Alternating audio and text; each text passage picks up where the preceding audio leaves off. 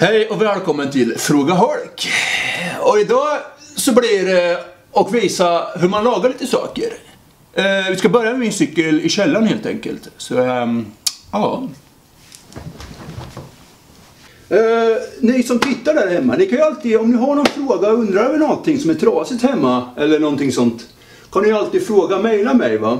Så kommer jag alltid, jag kommer ju alltid ta upp en, en fråga varje, varje avsnitt då.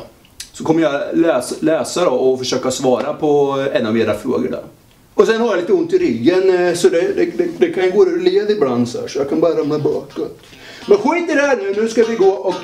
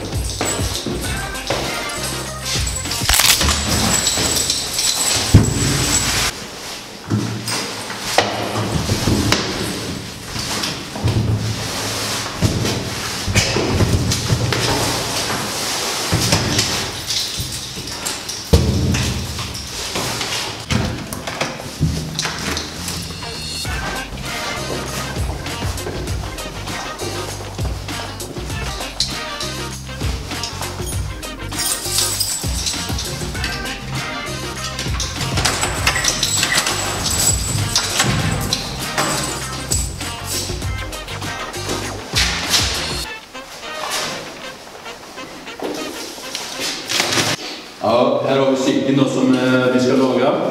Det är ju så att generatorn här nere som styrs av cellrena motorer från solen, det är den det är fel på. Så, så här lagar man en cykel.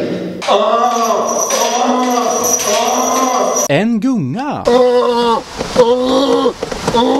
En dammsugare. En spis. Spelet The Crew.